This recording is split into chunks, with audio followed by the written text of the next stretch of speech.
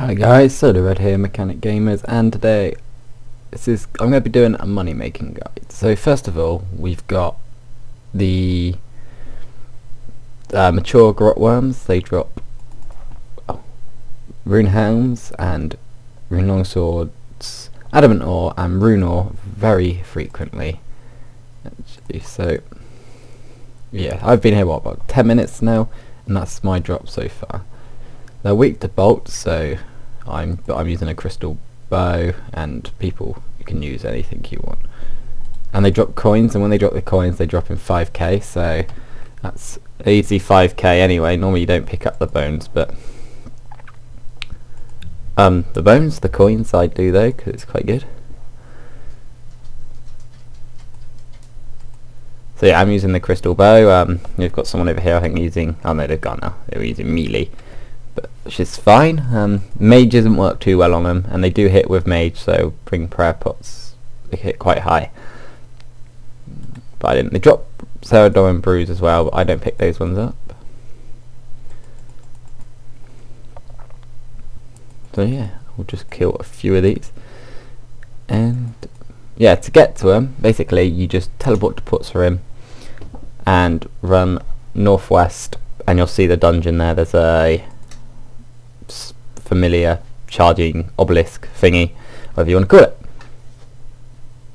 And they drop adamant square shields and adamant chain bodies and stuff that you can pick up, but I don't just because frankly I can't be bothered. Uh, they drop two shark every now and then as well, so you can don't need too much food.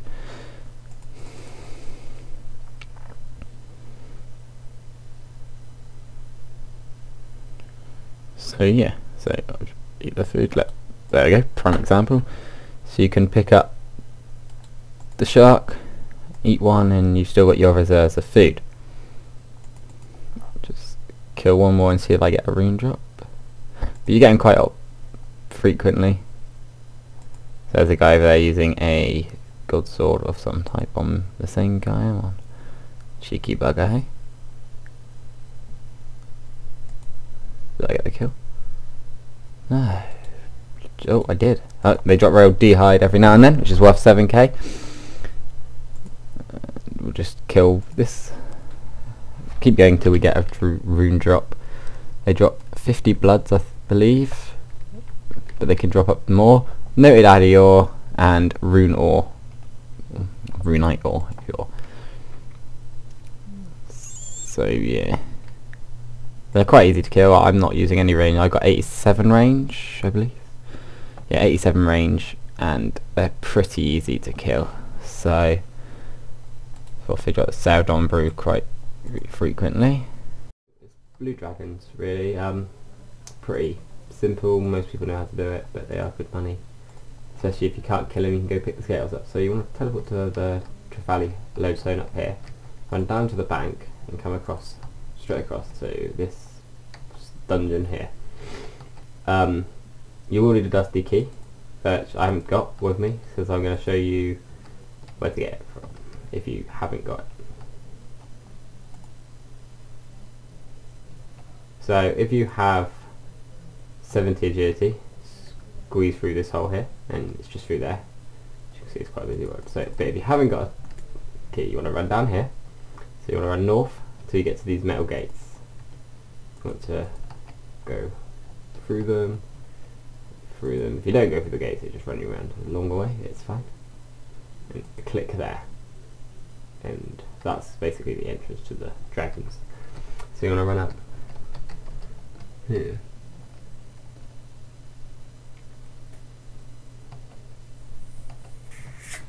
So that's going to run you right to here, because you can't actually get through there, even though it looks like it. So just run down here, And you get to here and you think, oh damn, I forgot my dusty key. Easily done. What you'll need is, well, you can use range, or melee, magic. What if, uh, I think their weakness is bolts, so that, normally you'd go this way, but if you've got, you've got new dusty key, just run down here to the Black Knight Fortress. Also, if you carry a spirit, terror bird, a water, anything that carries items, a beast of burden, you can um, get more. So if you're high combat level, you can do the kills, get the bones and the hides. And if low level, you just pick up the blue scales. So you want to kill this jailer here.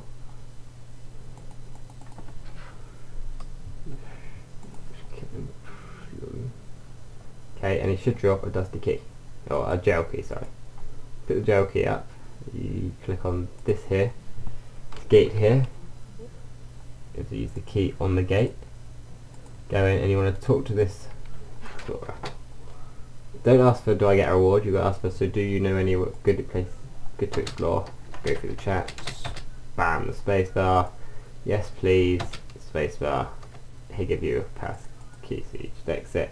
You can now drop the jail key and you've got your dusty key. So you just run all the way back.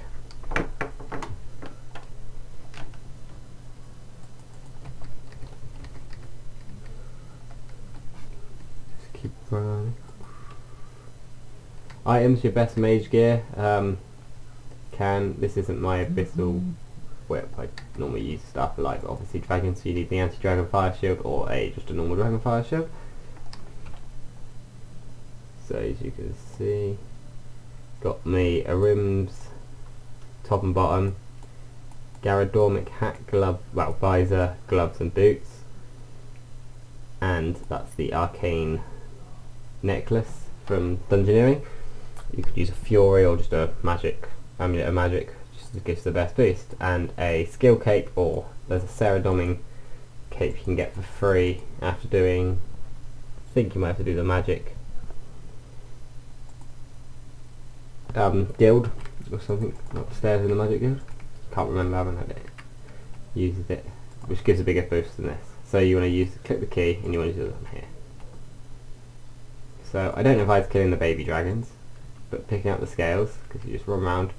Take some food just in case they do attack you, but if you're high enough level they won't. This is just an easy one. And price check these, see that they're 1.9k each or you can go for killing the dragons which drop a lot drop the bones so yeah kill or even if you're high level these would work. It's easier to pick up these there's loads.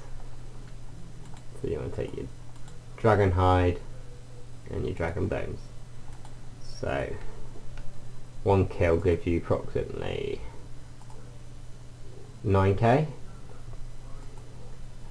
so you get what 28 14 for beast burden 14 we get about 140 150 60k a, a trip if you've got high enough engineering, um, you want to teleport use this because there's no ever in here just run down here and you see all these scales down here. You can kill them here, but there's loads of scales all the way around here, so you just go round and round, picking them up. Say there's no one in here, there's a guy, so it's got 12 spaces, so you can then 1, 2, 3, 4, 5, 6, 7, 8, 9, 10, 11, plus your 12, so that's easy 23. If you came with no food, you could get up to 30 thingies, and then you can just sit down, teleport back to Trevally, or Tevally, however you say it. To see it be even quicker, obviously you just don't have to run all the way around. That's 44k. And that took me 5 minutes, so 44 times 30 is 1.2 mil an hour from that method. Hey guys, and now we've got um Dragon Steel Dragons um, need a slightly higher combat level to kill these, but if you've got anti-fire pots and an anti-fire shield or dragon fire shield, they will not hit on you. So they good. They drop a lot of blood runes. They also drop is my thingy creature over there. My there he is, Spirit Terror Bird. He's carrying. They drop a lot of rune limbs, a lot of rune things you can pick up. I don't pick up personally the rune knives, the javelins, or anything. They drop a lot. They drop steel bars that you can always take into thing if you want to profit eyes, but I leave them on the floor because they're not noted. So they're a bit annoying. So you don't need anything really fancy. You can uh, range these, melee them, but I choose to mage them just because their weakness is water and I'm trying to train magic up as well as range as you saw in the last clip. So yeah, they die quite easily. Good XP, they're 976 XP I believe it is. Find out. 970 XP, so that's good. You see bloods there, they drop 20 at a time. And yeah, so I have 5,000 of these, plus I've been using these. If you use your special abilities, they don't use your runes or arrows up. So yeah. Um, the abyssal wand isn't mine, I'm borrowing that, so you don't have to have that, it's just, I was going to use my ma master wand. And yeah, you don't really need defense either because you see I'm getting strength up, that's just because my terror birds hitting on them. Their bite does hurt though, so if you haven't got much defense it might hit quite high, but you can melee these, range them, whatever good drops. I will show you after this kill what they can drop. I can drop dragon legs and dragon, well, dragon plate legs and dragon plate skirts, dragon helms, and also effigies. And they also drop so so you can see they drop a lot of rune limbs, they drop tooth half keys, rune bars, rune hounds, rune maces, and loads of other stuff that I just don't pick up, like the dragon bones and stuff. Just because I've got the drinking anti-fires, you don't need food for. This is good. I recommend the best mage gear you can have for the best bonuses, so Seer's Ring, Saradomin Cape, and that, whatever really you can afford. Okay, now we're at Avies, I don't know how to say these, uh, Avinizi.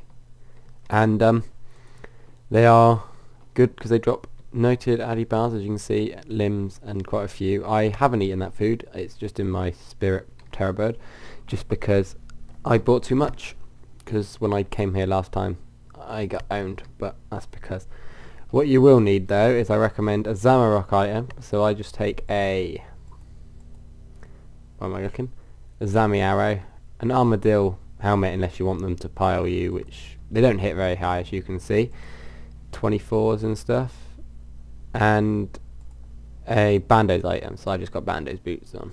But you could just take, I don't know, anything really. So they drop Grimy Avantoes and stuff. Really easy to kill. And also you can pike him off of these kills, so you'll see him be, oh he's not got attack. You can pike, pike him off the Zamorakian kills and the Bandos kills. But yeah, they're really easy to kill. Uh, range and mage, because you can't attack them with swords because they're too. Uh, you'll get a message saying they're flying too high. There is some requirements. I will put them on the screen. They should be coming up in your top left over this way somewhere. About nowish. So yeah, um, good money drops. Addy bars, which are at about 4k each at the moment. Just renew there. Yeah, I only have it because they were dropping quite... Oh, also you can bring some high ulch things if you want to ulch this silver ore and stuff for extra GP. But yeah, uh, my defense is 85. I recommend 80 defense and 80 range, but I suppose you can get away with 70. Just bring a better bow or bolts because their weakness is crossbows. Um, I've killed 115 as you can see, and I've got 108 bars because they drop in fours, and I've just taken my... Right, yeah, so they do drop quite high. You can use this as a, and they're low levels as well. So what I can, you can also do is if you fire the four multi-shot, you might get away with. There you go. So you got three on you now, just to prove they don't hit too high. I will tank them. So to get here, you go to the God Wars dungeons, which you teleport to Trollheim, Trollheim, Trollheim, using the normal spell book. You then can run down the thingies, and when you get to like a little V, you run right, not left. If you're on left, I don't know where you go, but if you're on right, you'll then come to a white thing and you have to squeeze through. I know you need strength or agility to get in here. I can't remember it, so yeah, they'll be on your screen, like I said earlier. What one's attacking me? This one over here. So, yeah. Good money, good range XP. You get, what, 600 range XP? 673? I don't know why I'm getting a bonus. Oh, because I'm clan avatars out. Add a BY. Then you can just use your thingy to heal a little bit. You'll regenerate and go again. And they drop quite well. Um, I think I worked it out. It's about 1 in 10 they drop an Addy bar. Hey guys, this is the fifth and final method in this money making guide, combat money making guide. And it's going to be exiled Kalphites. So you want to teleport to the bandit camp, Lodestone, and you want to run south past the dragon treasure thing. You will not need any water pouches, don't worry. This is the ancient thingy from the desert treasure quest. You run past that, going, and when you get to about here, you should see it in the corner of your screen up here. You want to run east. So past all the uh, jackals. And you want to go down here. You shouldn't need a rope. And this is the Kalphite entrance. This is Exile Kalphites. So there's two methods down here really. So there's also a summoning thing which is quite good. So you can just in your summoning. There is a safe spot if you don't want to get hit here. Which you'll see. So this is an ex Kalphite Guardian which you can kill. These drop runes, and I need to set a spell a second, and they are um, aggressive. So set the here's the safe spots. You see they're not hitting me. So these drop, yeah, like I said, a lot of thingies. They do poison, but they don't hit that hard for poison. So if you wanted to bring an anti-poison, you can do, but I don't choose to just because they don't hit enough really to do a lot of damage. And when you kill them, oh, these drop say rune dragon, you want to pick up damage chitons or chitons, however you say it. Right then, worth, if I price check at the moment, they are worth, you can't trade them at the moment. This is, on this, the higher your summoning level, the better. So if I, just come in here, kill this, steal this kill. Uh, we'll come in here. These ones are aggressive, okay? So these ones will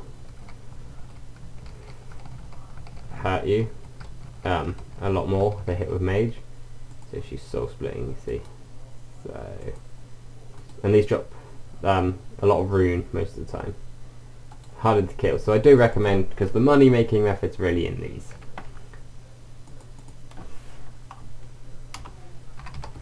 Doing good. Going now. Did it come through? I bet it didn't come through.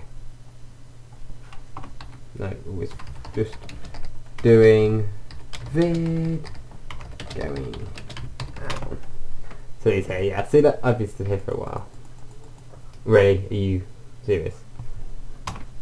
Just doing vid going now. There we go. Third time lucky. So yeah, just kill these. You wanna their weakness is water spells. Like again, they're not very high. You can probably use melee. Oh, on those ones range, I recommend not mage. And on these, I would recommend mage. They're good XP really, and they're definitely good Slayer XP if you need. Slayer, so, so they drop, and they drop a lot of blue charms. So if you had a charm imp, that'd be good. So just take the damage to Chitin. Oh yeah, as you see I just spam the uh, spam that. So once you're past here you are safe. So you want to teleport to I got my I only got the reach so tap. Um just go to the Varrock home teleport. This is where your smithing comes in. Obviously on a Slayer task this is a better money making because you need to kill them, protect them all, and they make a lot of money.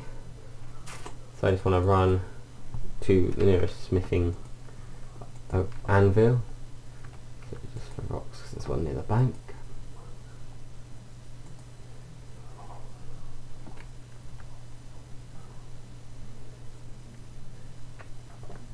Really easy to kill. So I've got four of these, and your high, my smithing level is 70, so the highest smithing level the more money you can make. So you just use them on, and they turn it into chitin scrap. So I get 26. So if I price check that, so four of them is turned into 22k. So if you think you can collect them with 12, take fruit your runes or yeah whatever you're using, three arrows. Don't pick up other runes. You're looking at about well, you can get about 30, uh, I'd say 25 of these a trip, and the trips take about 10 to 15 minutes. And then you just come to the Grand Exchange and oh, sell them. There goes, guys. I hope this combat situation, this combat, when I say combat money making guide, it's more of what I do to make my money. It's you don't have to follow it, obviously. Use your own ways, find your thingies, and I hope you found it interesting. If you'd like more um, skilling, money making, or anything really, just let me know in the comments or on Skype or Twitter, whatever you think. Um, yeah. Thanks for watching. Like, comment, and subscribe.